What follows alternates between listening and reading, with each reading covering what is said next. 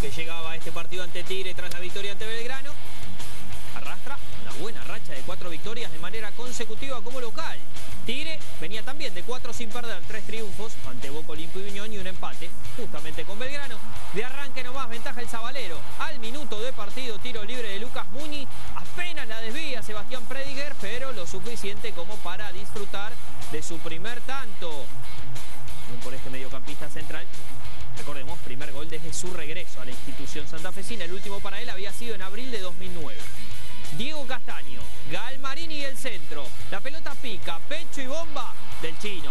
Carlos Luna, séptimo en el certamen para el eterno amigo del gol con la camiseta de Tigre. El tanto 66 para él con la casaca del matador. Colón se le cortaba una racha de 373 minutos sin recibir goles en su estadio. Higuaín, caño a castaño, la falta de Lucas Orban sobre Vichy Fuertes y Juan Pablo Pompey que saca la amarilla.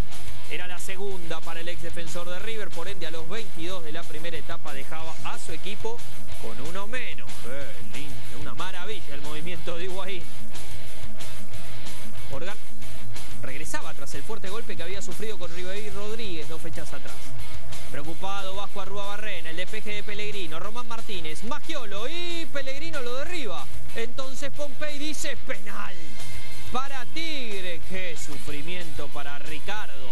Caruso Lombardi, entre otros, por supuesto, también sufrían en el búnker de San Martín de San Juan, en el de Atlético Rafael, en el de Olimpo.